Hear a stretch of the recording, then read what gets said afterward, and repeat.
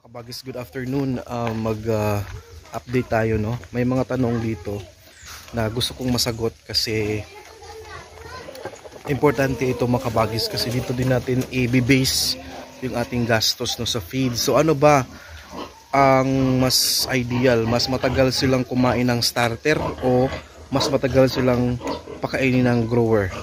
So yun yung ating uh, topic ngayong umaga and this is if this is your first time here mga kabagis in my channel make sure to uh, subscribe. Yung mga hindi pa nakasubscribe dyan na palaging uh, sumusubaybay sa atin ng mga silent uh, supporters please subscribe mga kabagis and hit the notification bell also para updated ka every time na may upload tayong kagaya nito. Let's keep on watching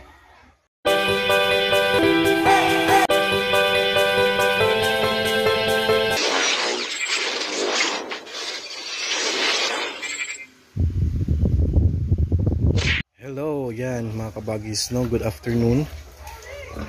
to ating mga RIR, dito yan sila mag um, libot-libot yung isa. Malalaki na.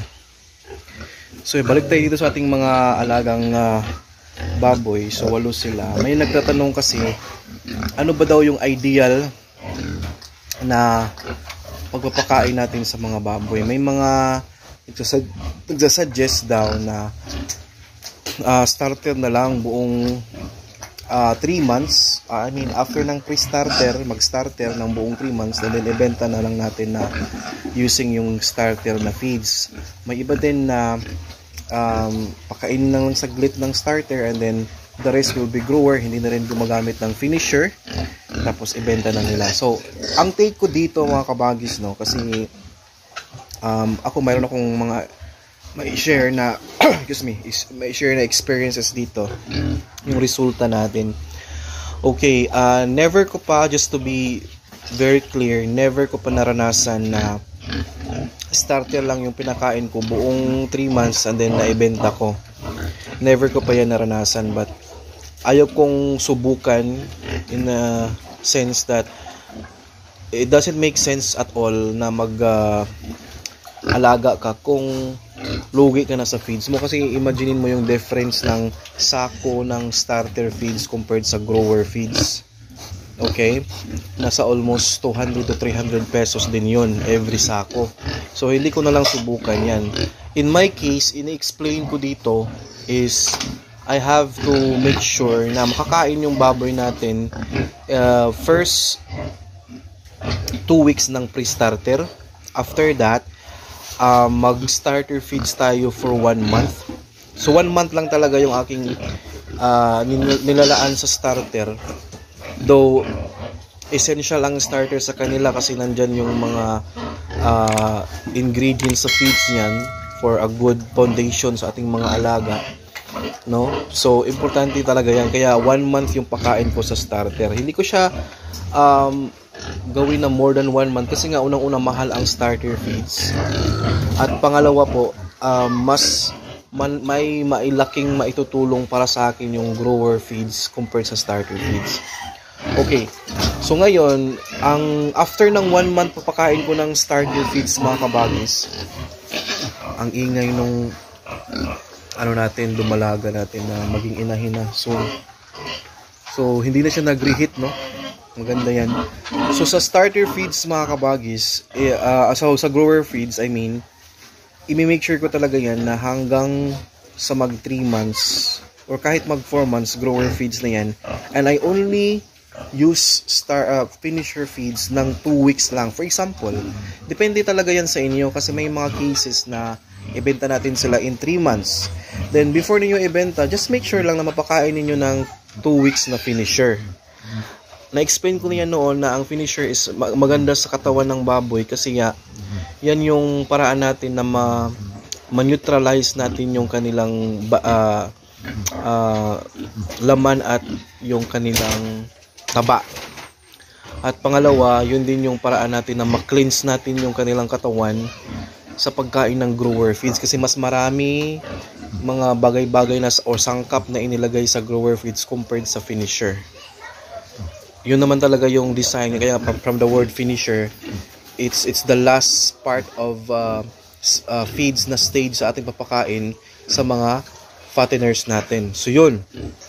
Now, going back, ang ah, gagawin mo lang talaga is i-emphasize mo ang tagal or ang number of days or months sa pagpakain mo ng grower kasi yun naman talaga yung purpose ng grower. Again, if you're planning to uh, dispose them or sell them in 3 months, then before mo i-dispose sila, give them 2 weeks of eating finisher. Then mostly na yung grower doon. Ang akin naman dito, kasi 2 months na sila, mag uh, technically ano, ano na ngayon, August, September 3 months, then October magpo 4 months sila. So yun yung target ko na ibenta na sila. But I have to make sure kasi ngayon grower stage sila. So mag-grower yan hanggang September, October. And then I have to make sure na before ko ibenta, may 2 weeks akong pakain na finisher. Yun lang, yun lang talaga yun mga kabagis. So yung tanong ninyo kung saan tayo mas maraming months or days pakain sa either starter or grower, ang sagot ko is ang grower. Pwede mo silang pakainin at least one month na starter. Actually, tamang-tama na yun at it's more than enough for them to make sure or for, for us to make sure na maganda yung foundation sa ating mga baboy.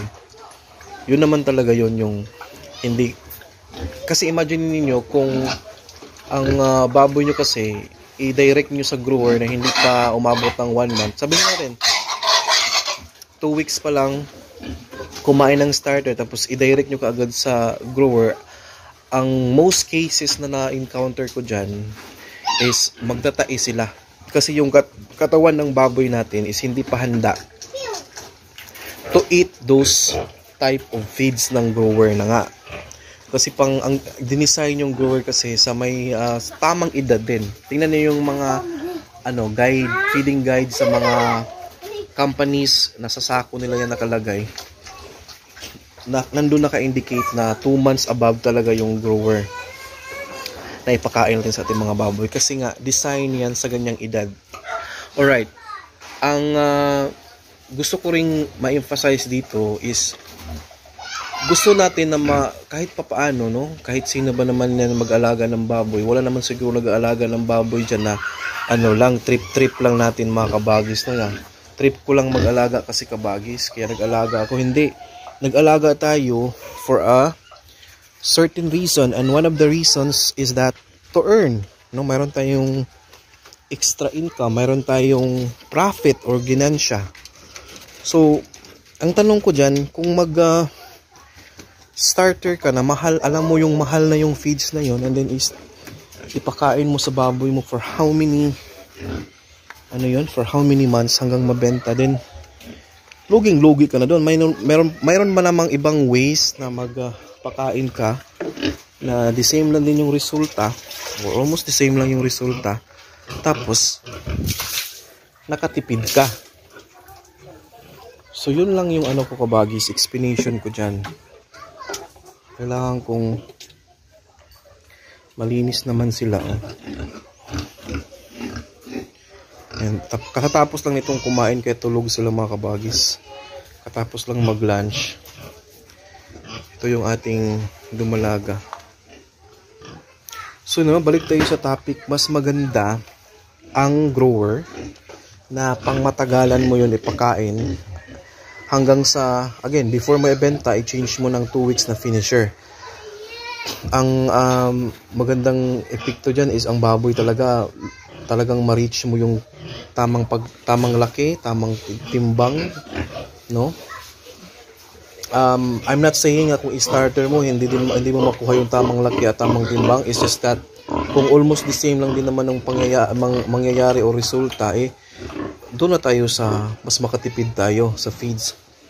Yun nga yung ito nga yung uh, stage mga kabagis kapag ka mag-work ka. Ito yung stage kasi na you need to think of alternative na pwede mong ipakain, ihalo mo sa feeds mo just to uh, minimize the expenses of your feeds. Kaya nga may mga iba dyan, may mga nagba-vlog din na yung feeds nila, hinahaluan nila ng hammered corn, yung feeds na hinahaluan nila ng PPC, or anything na mag, dumami yung volume ng pakain, kahit konti lang yung feeds.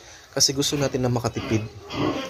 And this is the reason why I am explaining this kasi yung sagot at ang tanong na yan kasi is is it will boils down to the idea kung ano ba yung rason natin nag-alaga tayo ng baboy eh, gusto natin makatipid. So in that reason alone masasabi natin na pagpapakain natin ng grower feeds ng mas matagal na panahon is ideal compared sa i-starter mo lang sila hanggang maibenta. I hope na explain ko at na na ano ko yan na-explain ko ng mabuti at nasagot ko yung tanong. But you still have to comment down mga kabagis kung ano yung mga pwede ninyong i-add dyan as your additional um, input no or information regarding this topic. So yun lang yung akin and uh, sana na ano tayo doon, na enlighten tayo doon.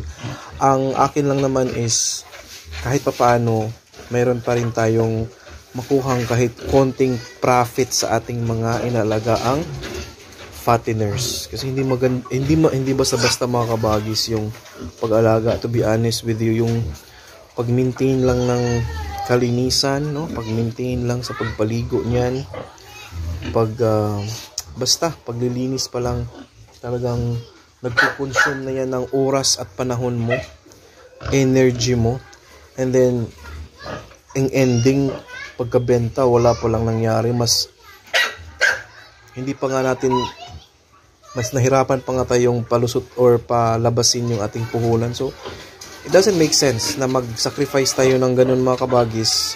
And at the end of the day wala pala tayong mai uwing profit sa ating sakripisyo at alaga. Now wala akong against doon sa mga nagpakain uh, ng grower feeds nila pinhaluan nila ng mga pipis, yung mga ganun, hammered corn, tahop sa amin yung iba.